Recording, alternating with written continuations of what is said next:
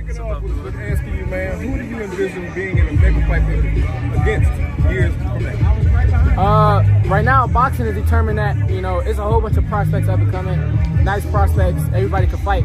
So boxing determine who's at the top, who stays at the top, and how long. Uh, right now, I'm just focused on myself. I'm working hard, and anybody they put in front of me is another step towards the, you know to the world championship. Do you feel like yeah. you, you are the best prospect in boxing right now? Absolutely. 100%. Why why is that? What makes you the best prospect in boxing? Um, I'm constantly growing. I can see myself against, you know, anybody inside the ring right now, but my brothers and my father in my corner are keeping me focused. So I'm constantly getting better. And, you know, there's there's no limit to it, you know. It's, it's work. It's all work, you know, you know, and I'm ready for it. You know, people are, uh, you know, kind of taken back. They feel like you have an exceptional amount of skill for not being 20 years old yet. Uh, what do you attribute that to, and what do you see in the ring when you are fighting right now? I attribute that to I attribute that to uh, the ring IQ that my father has. He what, what he sees in there, his vision is something not a lot of people have. You know, his vision inside the ring, what things that he see that I don't see when that when I'm in there, stuff I don't even see that my father can see.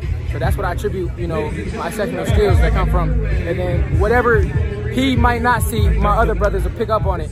So it's a team effort for real. We got eyes everywhere, you know. Let me ask you a quick two-part question, man. Who do you believe is the best on Shakur, Haney, and Gervonta? Second part, have you sparred either of them? Yeah, I, I've been in camp with uh, with Shakur and Haney. Well, I've been in camp with Shakur. I sparred Haney once. You know, everybody, boxing determined that. You know, Shakur, everybody knows he's the most technical. Gervonta got power. Devin Haney can box. So it just depends who, who does the best job, who does what they're good at you know, against their opponent when they step in there. You know, what, was that like, what was that like for you sparring? Tell me about that. What was that like? It was amazing. It was amazing. You know, that's uh, that's elite level work.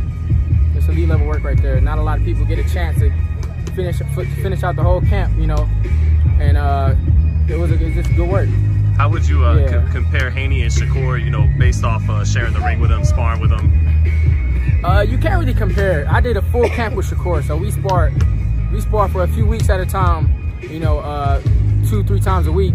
Well, Haney, I only sparred him once. I sparred him a few rounds, and that was when I was way younger. I was 16 at the time, before I even, you know, turned pro. Before I was still amateur for a while, so you can't really, you know, match that up. Sparring is sparring, you know. What, yeah. uh, but they both elite level work, you know. What What did you, you know, take from sparring Shakur? What makes him elite? Uh, he sees a he's all around solid fighter. Yeah, a lot of people got a lot of uh weaknesses inside of the ring, uh, uh, strengths and weaknesses. You know, I would say he's an all-around solid fighter. Do you think yeah. De Los Santos will be competitive in this fight with Shakur? I think Shakur got him. I think Shakur got him. You can't overlook no person, but I think Shakur got him. Was he like gonna pick him yeah. apart kind of thing, or? Uh, I don't know. We have to see. Yeah, we have to see. Yeah. Yeah, I haven't watched too much of De Los Santos. Yeah. And Abdullah, um, you know, I don't think anyone questions that you could fight, but you know, in, in becoming a star in boxing, it sometimes takes a certain personality or getting lots of knockouts. What do you think about that when it comes to the, the, those aspects of trying to cross over and, and become a star? I don't know. I'm, I'm, working now. We, I think, I think we got it. I think we got it. You know, I'm working right now.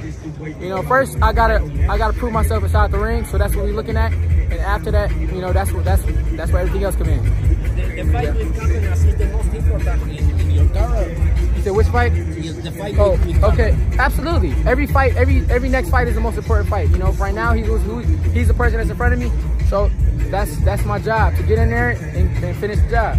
You win by by KO? Hopefully, we'll see. We'll see. Yeah.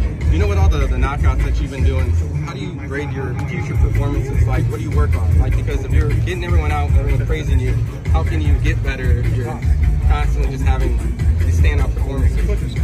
Um, I mean, I just you know rewatch the fight, and uh, whoever whoever's in my corner, they let me know what they see, and I look back, and we all come together, and we figure it out from there. Yeah, after every fight, there's always something to work on. It's not, it's never something that you, it's, it's never nothing to improve on, you know. Do you like the um, the quick knockouts or you like the slow breakdown methodical, take your time, eight rounds go by, getting tons of highlights from your, your punching, you know? I don't know. They both feel good, you know? So some nights is one way, some nights is the other way. I definitely like getting in there, having a, a, a night, you know, having fun in there, you know, racking up highlights and then getting them out of there. But we'll see. Some nights I might be like, man, I want to get out of there a little early tonight, you know what I mean?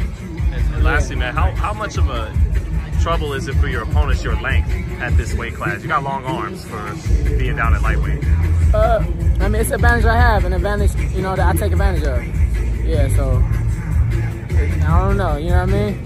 Yeah, it's just, yeah, I'm here now, and uh, it's, I don't know, you know. Yeah. Thank you, Abdullah. Thank you.